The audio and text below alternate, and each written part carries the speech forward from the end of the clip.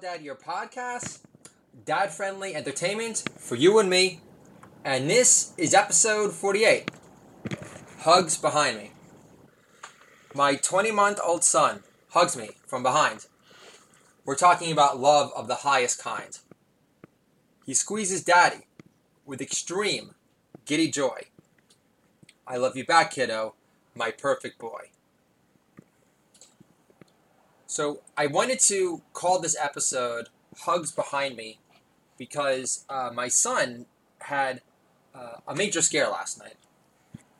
I was looking after him, my wife was at work, and I heard uh, wheezing, and it freaked me out. Reminds me of an old joke where I say, uh, God didn't give me uh, three kids to have a panic attack over it. Now, I wouldn't say that I was in the middle of a full blown, out of control panic attack last night where I was reaching for an IPA to calm my nerves. Uh, this was not the case. I called my wife and she I put the phone on speaker and I trusted my gut and my gut told me that something was wrong with my son and his breathing sounded off. I knew he was exhausted, but you know when you spend as much time as I have uh, with my son, you know when something is off. And I really don't know like how many men in the universe have really spent as much time in the same bed with their son for the extended period of time I have. I, I wonder if it's a, a, Guinness Book of World Records. Uh, wonder if there's a uh, uh, an inclusion because I actually had the Guinness Book World Records. I don't. Maybe I should create my own uh, Do It All Dad Guinness Book World Record entries as far as most consecutive nights in the same bed with your son, not necessarily reflecting back on your nerve ridden, swinging 20s versus your snuggling, ultra content 40s as a whole. But so it turns out my, my son had I don't remember the name of his virus, but he like literally got it like yesterday. And my daughter was so funny at the hospital. She goes, Daddy, it's very simple. Samuel has a virus in the lungs. Got it? So she is unbelievable. And they gave him steroids and they took care of him. My wife was working that night, so she came home. So we got the kids ready, and uh, we're very fortunate. You know, she works uh, very close by at a hospital, it's about like 15 minutes away. And and uh, I'm at uh, Barnes and Noble today uh, with my son, and both my kids are at school. I actually gave my daughter coffee this morning. I, I took a picture of her with a coffee mug, and instead of saying cheese, I said, "All right, Matilda, say just what the doctor ordered." And of course, she makes it sound much more beautiful. So, and she did take a couple of sips of my uh, dark roast uh, coffee, uh, and she actually was able to take test. Uh, I'm sorry, tasting notes compared to an espresso that I've offered her a taste of in the past as well. So it was a very uh, mature, sophisticated uh, moment on my daughter's behalf uh, that I'll always remember. And then, so I'm at the bookstore, this is later, and my son does his hug from behind, where you know, uh, I never see it coming. It's like a beautiful, spontaneous, like love hug, lunge. And he grabs my calf and he sticks his head uh, underneath my legs and uh, sometimes I give them like a scissor lock, and uh, it, it really is, uh, you know, true. Uh, it's a true love blanket, and uh, it's an amazing feeling. And I wish uh, that any guy that I've ever liked being with, which would basically not include 99% of most bartenders, uh, or for friends that I, I do have uh, deep affections for, that I have professional love for. Uh, if they have not had that opportunity, I, I pray that they do. So I'm going to start praying for that.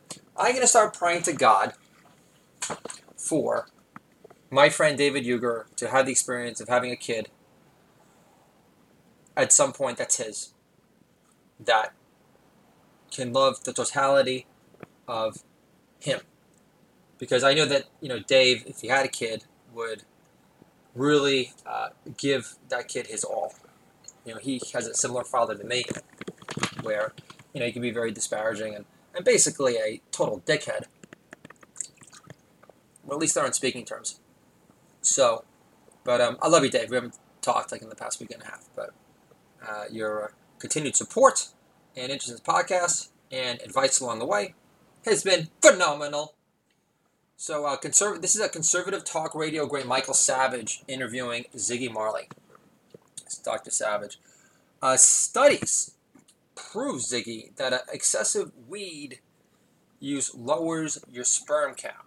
Ziggy Marley replies, My father had 12 kids. Fake news, man. Michael Savage's follow up interview question for Ziggy Marley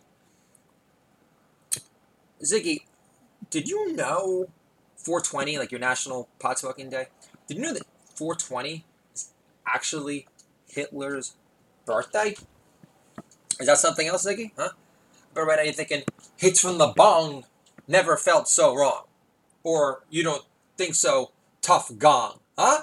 You think I'm a total square over here because I'm a conservative talk radio pundit, New York Times bestseller, Arthur? You don't think I can throw in a good Tuff Gong label? You don't think I'm capable of that? Zig!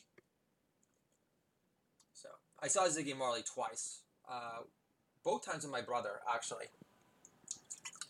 Once was in Central Park, and another time was at the Roseland, which they closed. Lady Gaga the last show there because Lady Gaga went from doing small venues like in Lower East Side to like Madison Square Garden, and uh, for all those not familiar with uh, the the Roseland, that was like a middle tier, probably like three thousand. You know, Metallica, you know, played there back in the day. So Bjork there. She was actually pretty angelic. Uh, I've never struck out more trying to find weed in my entire life. Okay, that, that, that's the most sober minded concert going quite I've ever been to. My wife puked in her purse that night. Uh, taking the metro north dock. That was a nice moment. But um, Bjork was awesome.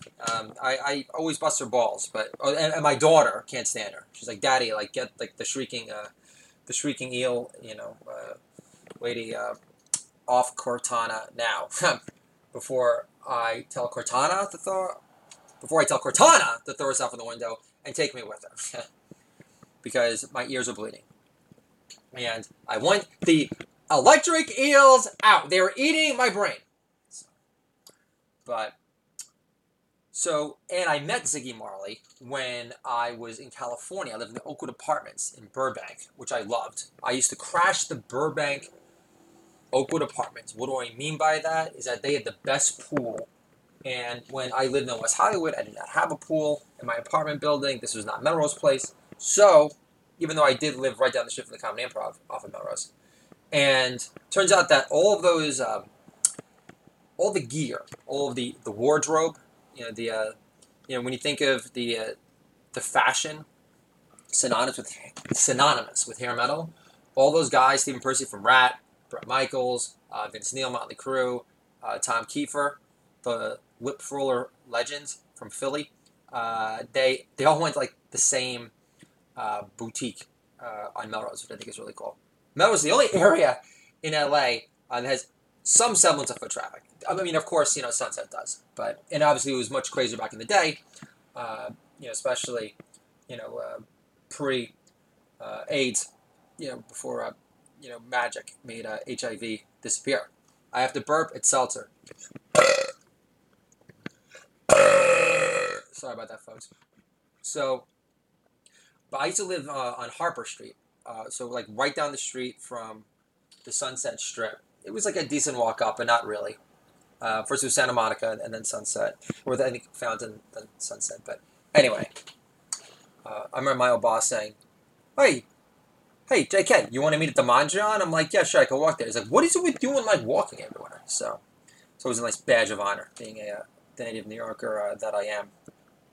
And of course, the weather was always phenomenal. So why would I want to walk and, uh, and, and, and bust out the leather? So I was talking about Ziggy. So I met Ziggy one time at uh, the Oakwood Apartments. I was playing basketball Um, I used to love playing basketball. Uh, I used to play with my friend Jordan, who's now a very successful uh, documentary filmmaker.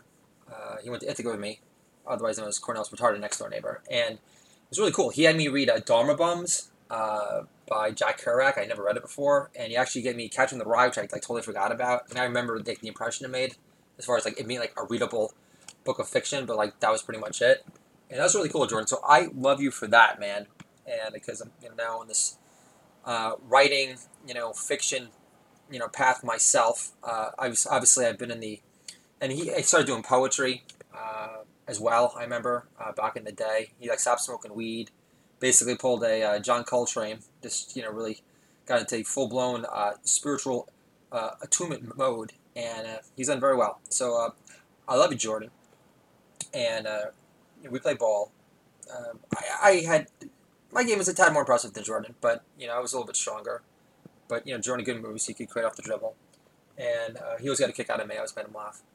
And his older brother was uh, a real pimp daddy. He went to Muhlenberg, uh, always dressed really well, and uh, so so Ziggy. So I see Ziggy at the Oakwood Apartments, uh, and understand like this is like where all these kids go for like pilot season and you know, Warren Zevon lived there one time. Artie Lange tried to kill himself. So you know, it can be a, t- a tad depressing for certain stars where you know everything looks the same. But for me, like you know, when you're from like New York, it's like constant paradise, and uh, you know, it's because you got the pool, you got the jacuzzi, you got good-looking women, you got models, you have the uh, the fashion students, and you you at Emerson, uh, which uh, you know Gina Gershon went there, Denis Leary, Norman Lear, Mario Cantone. So we had the Emerson students and the Ithaca students. Um, I had my first half-assed menage a trois with two Emerson students, actually, uh, which reminds me for the uh, appropriate thing to mention for the Do It All Dad Your podcast is that the if you're don't even bother with the menage a trois if you're piss poor at multitasking, because especially if you're already hooked up with one girl, but you really want to hook up with the other girl just because she was from Spain, even though they hate Jews there and had no tits. She had no tits, even though the other one did. Was from Texas and was a Jewess and was like really cool and funny, but yet like you're into like the girl from Spain because she's, like cute and she seems more exotic and intelligent, like which she wasn't, and like you focus on that girl and then you know the other girl just you know she's like well what about me? And I'm just gonna type on the laptop right now where while you slog away, you know trying to uh, you know create some uh, boom boom magic. So uh, that was a total squatter opportunity. Boy, I messed that up. Yeah, thanks a lot, Dad, for that conversation. You know, this is the guy that was in a fraternity. He tells me he was a member of the House of Soul in college, and you know, he, he sold weed and acid, and, and the college and the, the bank of Lake Forest to get involved because he was such a big baller. Meanwhile, this is of course the age of free love. No conversations about multitasking, the menage, the birds and the bees, STDs. Goonish! You're always that busy at work, pops. You're home at six thirty. I know you had a schlep over the GW, but you were home 6.30, heady dinner every night. You weren't entertaining us kids. You weren't teaching us jack. You weren't helping us with homework. I enjoyed the fraternity stories, like that one time, which was a very mean fraternity story, but funny, to an adolescent, where you had to invite the ugliest girls, and some guy brought a girl with no arm, which is like insanity. Pretty uh, crazy story to tell a kid. But I reference that story in my Heavy Metal High uh, pilot trilogy. Something you guys should check out on the uh, Dear Donna website. Uh, it, it, really, I pour my heart and soul into that. While looking after my firstborn. I think I'd be made in the shade and have a huge compound in Westchester right now, being able to afford 25 grand in property tax a year. that is not the case. So, I was talking about Ziggy Marley, and so I see Ziggy Marley, and it's definitely Ziggy Marley. He looks like Bob. He sounds like Bob. I uh, and I, I, talked to one of his handlers. I'm like, "Is that Ziggy?" He's like, "He's like, yeah, man." And then I remember hanging out with my friend Aaron. I haven't talked to Aaron in ages. I love you too, Aaron. The uh, Aaron got me into all these biographies, uh, like Michael Eisner and Ovitz, and really got me my my brain stimulated about the idea of like working in show business. There was this girl that I had hooked up with. We you want to talk about chemistry, not being meant to be. Like our teeth clanged. Uh, she now like lives in some like farm like uh, up in like Sonoma, uh, and we lived together at one point. Uh, her name was Becca. Um, I love you too, Becca. I'm amazed all these people from my past that just like keep on coming out of the blue. I actually ran into this girl Becca. I went to Ithaca with. We hooked up in college. She goes, listen, I think you should work for like a talent agency. I'm like, okay, it's a good idea. It's like an advertising PR major. Thing is, most squandered opportunity of all time. You know, parents spent God knows what. You know what, forty? I don't even know what they spent at Ithaca. I'm a communication major. I did not. Meanwhile, I had a radio show at Lake Forest prior. I did some like half-ass Howard Stern like wannabe refs uh, routines, and we played like I had like literally 30 minutes. I would play a 24-minute whip pose, and uh, you know, I thought my Wilson Pickett. That was great, everything, but I didn't. I was very half-assed in terms of my preparation. I also had pretty minimal confidence in terms of being this like really like hilarious entertainer like back then, or at least like the potential. And but I did make the decision to transfer colleges because I, I realized that the Midwest was not for me. Uh, the only time, I, first time in my life, I became like painfully aware of uh, the limitations of my uh, self-conscious, overtly putsy Jewish uh, Eastern bred personality. Did not always play well, the uh, which is really comical in retrospect. But um, but I, I, did have lots of friends, you know, in, in college. A lot of them flunked out uh, freshman year and didn't come back. And I did have the distinction of uh, I hooked up with a couple of sophomores uh, freshman year. It was a small school too. I mean, very like a thousand undergrad, So that was nice. Uh, but I still didn't lose my virginity, you know, until uh, sophomore year. So yeah, that's pretty brutal. Again, especially when you have a younger brother that loses his virginity before you, who's three years younger than you. And my younger brother also hit puberty before I did. So understand, my brother banged the three hottest girls in his ninth grade class that I tried to jerk off to at the time, but couldn't. which would make anyone feel like a Big Brother bust of the most uh, biblical proportion, right? It's like the ultimate double whammy of shame. So my brother says, "Oh, you made up for it. Stop, stop complaining about it." I'm like, "That's easy for you to say. Very easy for you to say." So I was so Ziggy. So I'm mentioning Aaron, and so we're hanging out with Aaron. We smoked a lot of weed together, uh, but we really got into Family Guy. We talked about writing a screenplay together you never did. It was all talk. Another you know thing you really honest about with your kids as far as marijuana use is that it definitely uh, tends to produce the ability for uh, you to talk a lot of smack and not really uh, you know, do a lot of doing, uh, and it definitely does take away from the totality of your uh, productivity output. Now in the past, whenever I wrote my scripts, my spec scripts were always sunny and Eastbound and Down. You know, the ganja was always a, uh, a reward and uh, so it was a pretty powerful motivator. And uh, and also, I would always notice that after I got stoned, reading the scripts, they'd really come to life because you know in a spec script, you want to paint the picture, you want to be able to visualize the action. I was very good at that. And again, you know, folks, why am I doing this podcast? You know, P.T. Barnum says the only way to achieve greatness in life is to do something that caters to your natural strengths, gifts, faculties, and abilities. And for me, obviously, the gift of gab, I have. Uh, it's a natural extension of who I am. I wasn't always that guy. I was a shy guy. I need to do an episode on how I became the shy guy. How did I do that? Well, hooking up with a couple of Israeli girls uh, during my Masada teen tour helped out tremendously. Again, younger brother, he's banging chicks left and right. I got goonish. Uh, I'm going to camp. Another canteen mixer gone. I choose to stay in my bunk and touch myself, and I can't even like you know release uh, juices of joy. Reading Crack magazine, working on like basketball lateral moves. Kids are laughing at me. Uh, I just thought, why am I going to go to a canteen mixer? You know, all, all the jappy boys are going to hook up with the girls, the big tits anyway, and you're going to be like, smell my finger, and they all got pubic hair, and I had Goonish, second worst athlete after the kid, uh, the Sheik's son from Great Neck. So I'm like, what am I going to do over there?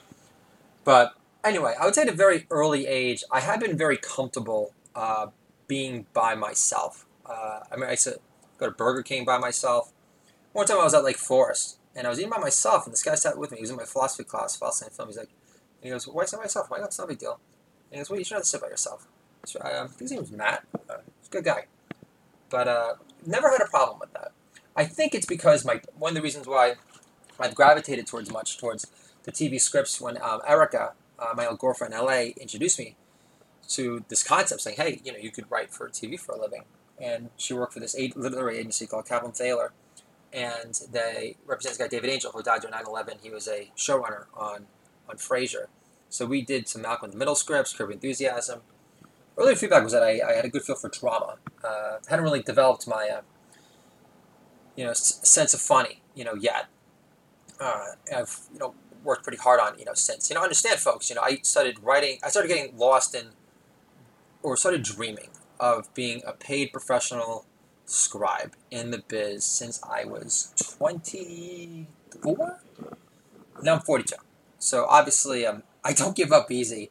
Uh, you know, writing for VH1 Classic, you know, was great everything. You know, writing intros for Chris Jericho, but I was writing like full blown scripts, you know, before that. I mean, when I was in my twenties, and I would also like after usually the hard part, and Eric gave me a hard time for this. I would take a, a longer time than most to generate the ideas for the actual stories, but you know, once I had that, you know, it would take me like a month. But you know, once uh, I and I always subscribe by the the philosophy of Walt Disney, which I learned later, which is the original idea phase. Just throw a bunch of stuff against the wall, and then you know, pick and choose and be selective.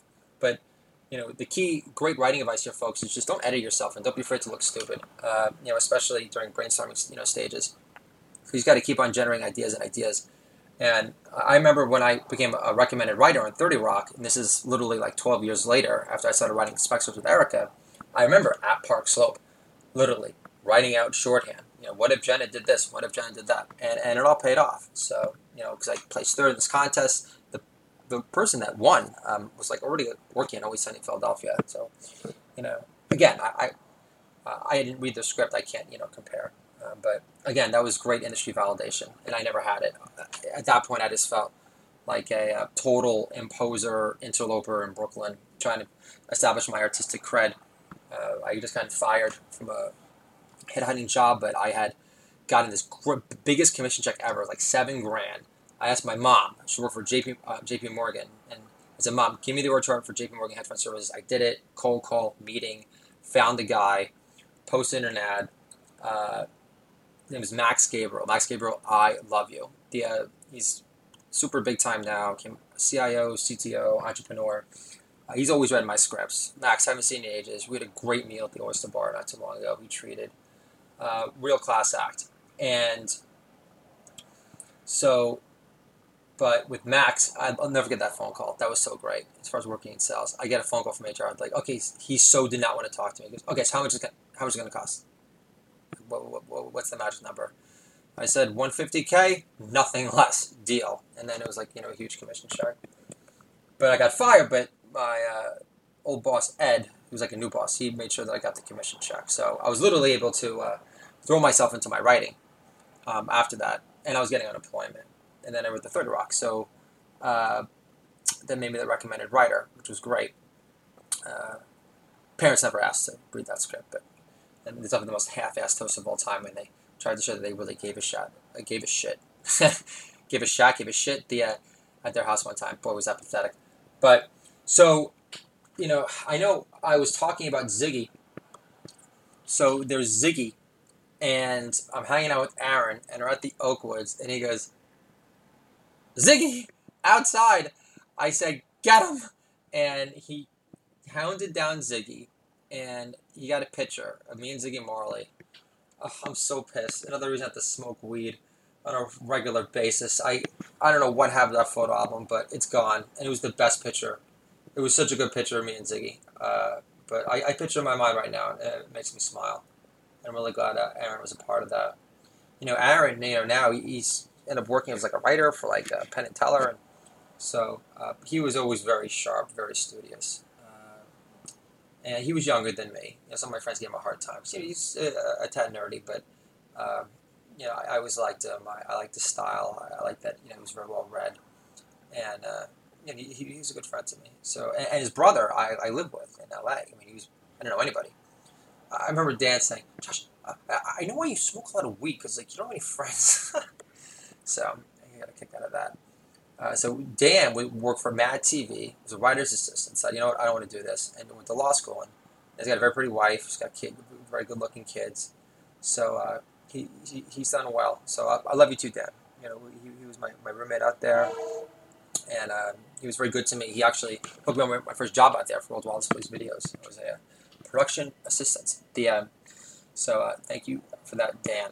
Because if you don't do that, I don't set in LA. I don't end up you know, getting a, uh, I don't end up, you know, working in headhunting eventually, and I don't meet Erica, and I don't start writing scripts, and, you know, because of Erica, you know, she gave me the idea of becoming more than just a schmuck in a headset, and uh, she you know, taught me that I could, that I have real talent in this world that uh, made me feel unique. And I never really felt like truly unique before, outside of being like, you know, the funny guy that came out of Michelle. You know, they started smoking weed and had some beers. So um, I love you, Erica, for that, and Dan, and Aaron, and Jordan. These people from my past, haven't talked to them in ages. Uh, unbelievable. Hearts and thoughts, they fade, fade away. Hearts and thoughts, they fade, fade away. I swear I recognize your breath. I really need to sing uh, Pearl Jam for karaoke. I haven't done that yet. So one of my earlier open mics in LA, and we were talking, not many in. It was a really cool venue. It was like outdoors, and there's this guy. I don't know. He was like so tiny. And I said, "Let's get let's get it for the kid from the Jeremy video," and everyone laughed.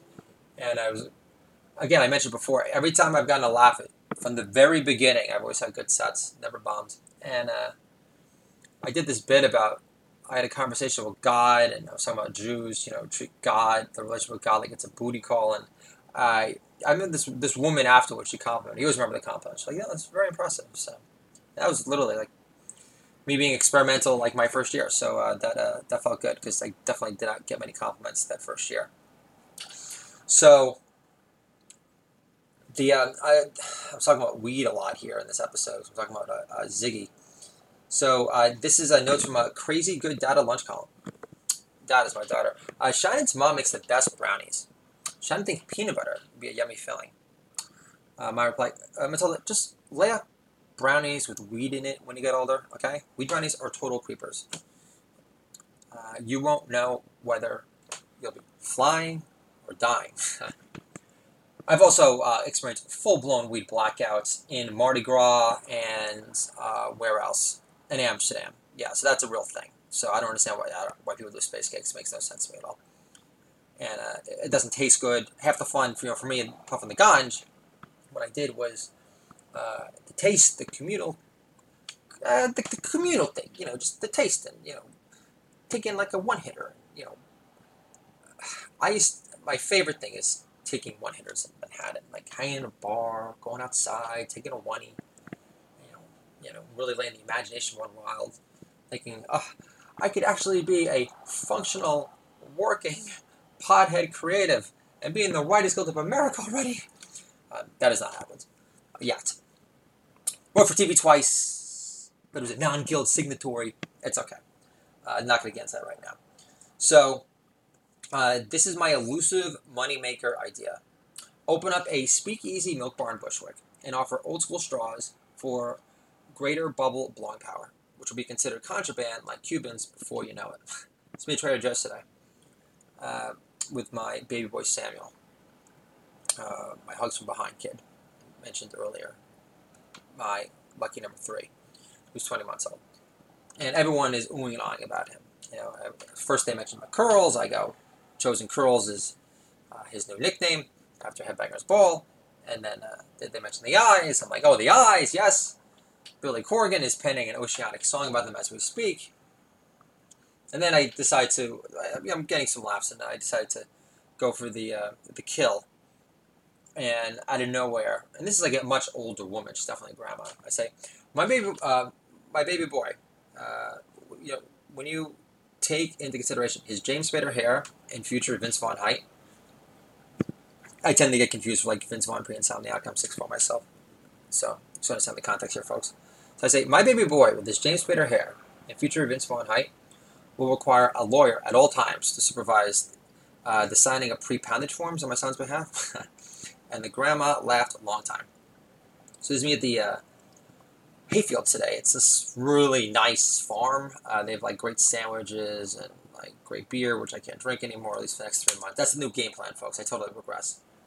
I learned last night that uh, my Dr. Altman was not lying, and that for six four, that you're basically considered fat or above your, your weight when you're above 200. So I was on the 205, and I thought, oh, that's great. But no, like I do need to be at like 195.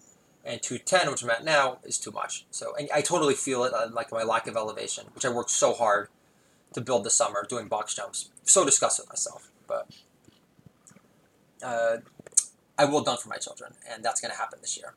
We lose to 20, and it's going to be great. And then I can start enjoying beer again.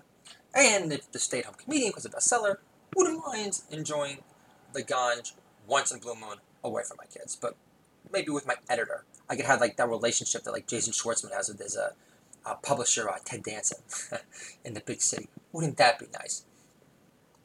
So uh, this is a conversation I had at uh, Hayfields, the uh, fancy, swanky uh, farm uh, nursery get up here in North Salem.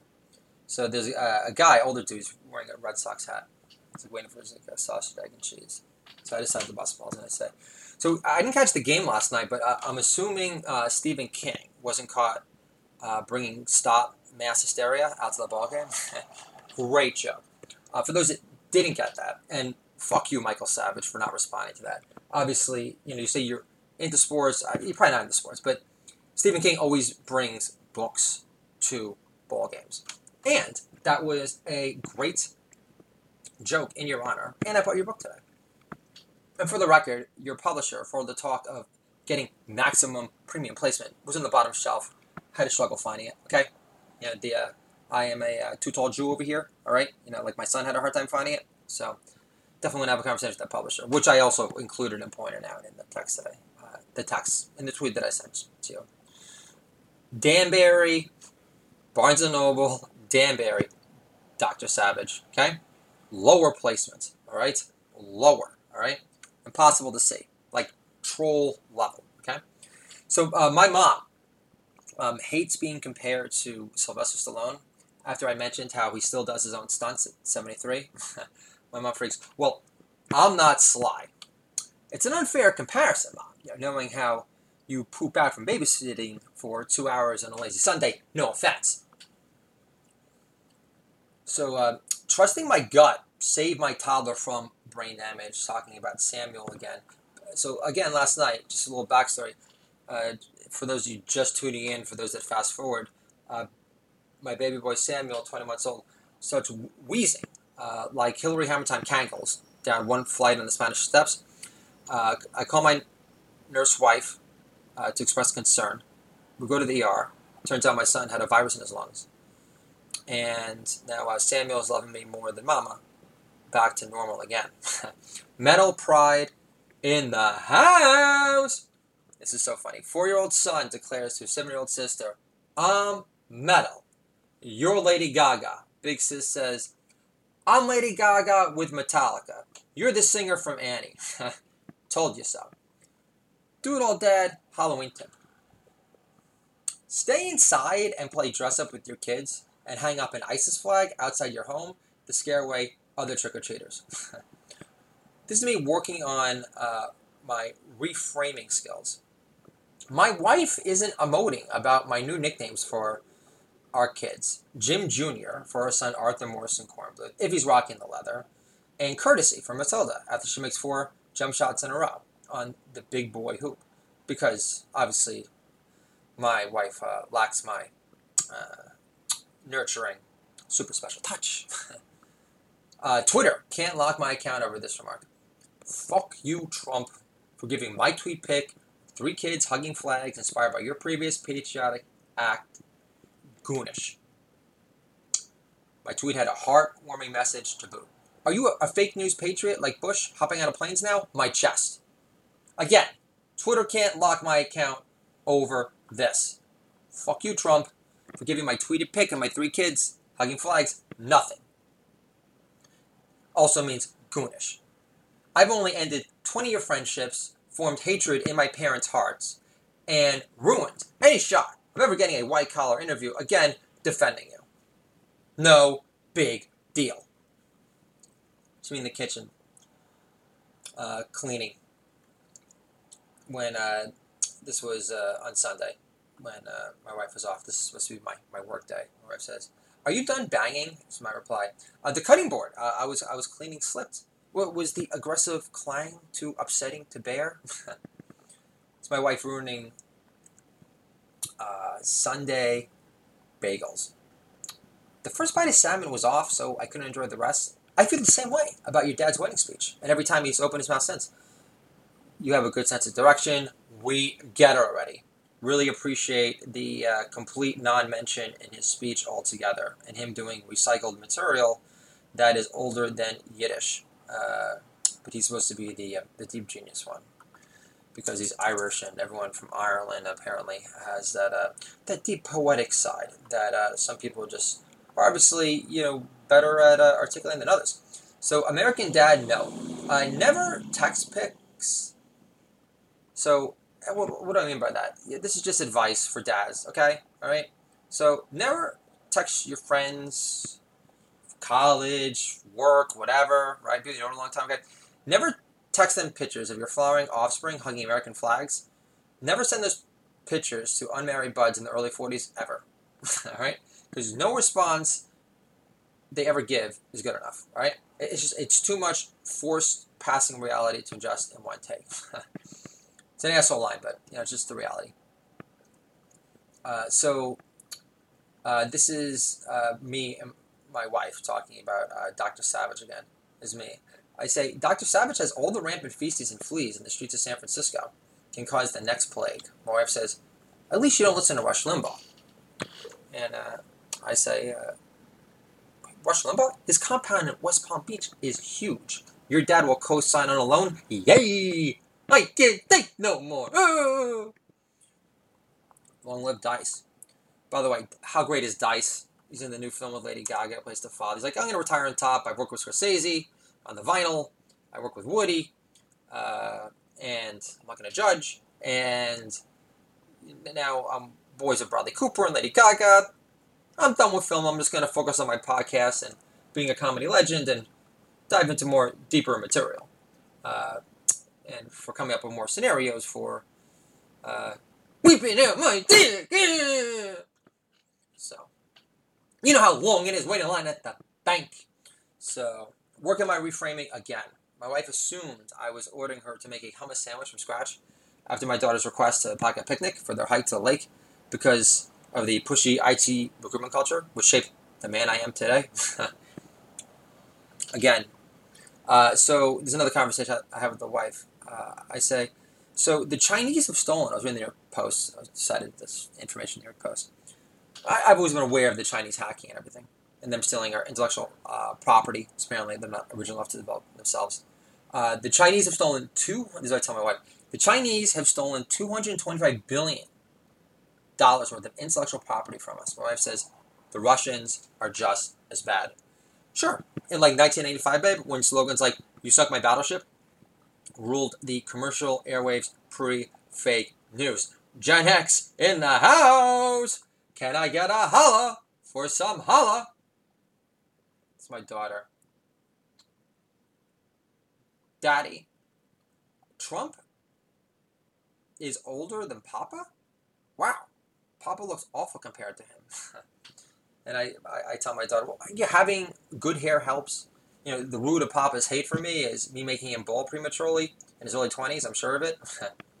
Funny to think of Hillary Hammer Time Kangles as a former First Lady anymore. I thought ladies could handle their wine and not require spill handlers. I bet Reese Witherspoon can balance Pride and Prejudice on her head after a bottle of white burgundy. that is the most pretentious joke of all time, but it's very funny and it's a, a great detail. So, and just to educate over here, because I sold wine for a little bit when I was in LA. Uh, my territory was Pasadena and Burbank. Don't get jealous because I was working commission. I had no money. I was an idiot. My father didn't teach me anything. I ended up paying all this money on capital gains taxes because I had to basically cash my bar mitzvah stocks. I was working on pure commission, and I made and I did some sales, but I basically made enough to pay for a sprayed uh, dime bag of weed from the Bronx that tastes like Windex. So don't get too jealous there. But I did learn enough to know that uh, white Burgundy is uh, the Chardonnay. Talking about the Chardonnay, the the Grandiose Chardonnay grape of uh, the Burgundy region in France. So, and that is also the prominent grape they use in Champagne. So, uh, just throwing it out there. And uh, so that's that. The best wine I had when I went to wine tastings ever was a Cab Franc, which usually uses a blending grape in Bordeaux. Uh, very few American producers grow it by itself, but uh, it's a very expressive grape. On par, you know, like let's say a, a Shiraz or a Zinfandel. uh, uh, a gamay, uh, also a uh, petite sirah. So, but like, but just as peppery as all those. And this is a three hundred dollar bottle of a Cabernet Franc, and I've never had a sip of wine that I literally gagged on. The um, I mean, it, it was so strong and overloaded with flavor, right? Like it even would make like Lexington Steele blush. so uh, this is my seven-year-old daughter taking uh, talking down to her elitist uh, grandmother in Arizona, retired in Scotts, Arizona. This is my seven-year-old daughter talking down to Mimi, her elitist grandmother, like an unsophisticated deplorable. Strawberry ice cream is a baby ice cream flavor. Mimi. my daughter last Saturday night. Daddy, I'm bored with uh, rock and roll. And I tell her, because uh, we're watching uh, a bunch of, I showed her that uh, Lady Gaga uh, performance with Metallica at the Grammys on the YouTube. We never did that on the, on the big screen before. So, and watching some other clips. My, my daughter says, Daddy, I'm bored with rock and roll. and I tell you, Eddie Van Halen does sound repetitive on a 12 minute version of Eruption. I agree. So I went to, uh, this is another poem. Uh, it's a quickie, and it's called Effin' Damn It. Uh, no more boob. Uh, my wife screams with utter disgust. But I thought breastfeeding fed baby Samuel self esteem up the wazoo and was a total must. Effin' damn it. Baby, stop interrupting my sleep. Stop being a, bitch about it. And you'll make less of a peep. Oh! And this poem is called My Son's Favorite Things to Do. After a brief respiratory scare, hugging Dada from behind again to show love for his Dada, making him feel like a perfect 10. I am so glad, Samuel, uh, to have you back to full strength. I did not have a total panic attack last night. Again, God did not give me three children to have a panic attack over it. He gave me you three, and especially you. You know you weren't planned. uh, he gave me you so I could prove to myself that I'm not a waste of height, like my father tried to label me. You could say he's busting my balls, but I'm not going to apply those restrictive labels, you know, to my children, and I'm not going to make them sound like it's a, you know, predetermined, you know, fate that they have no control over. But it's up to me to prove that I was born to rise to the challenge and make the stay at home comedian book a monster success. Next book we write Birth of a Pescatarian Comedian, Pescatarian Diet plus Heapings of Funny equals one happy family. I want to make this family happier, stronger, funnier, and more successful than ever. It's all on Daddy's shoulders. Uh, I want to thank my beautiful, perfect wife, Natalia Duffy. First night we met, walking Manhattan, she told me to uh, push my shoulders back. And you can say she's, as a whole, uh, straightened me out uh, ever since. And I really appreciate that, babe, and I really appreciate your uh, consistent belief in me. And uh, I don't think you've ever been more excited about uh, my new vision to finally make this happen. Now that I have 0.0 desire to uproot the family and move to Lakewood in California just to write for Family Guy amongst another 20 so Millennium Musketeers that I can buy and sell daily that have never made a cold call in their life uh, that have 0.0 personality uh, off the page. uh, this is the Do It All Dad Year podcast, uh, dad friendly entertainment for you and me. Controlling our kids through comedy on the remote work front can make our kids great again. And I'll talk to you guys soon.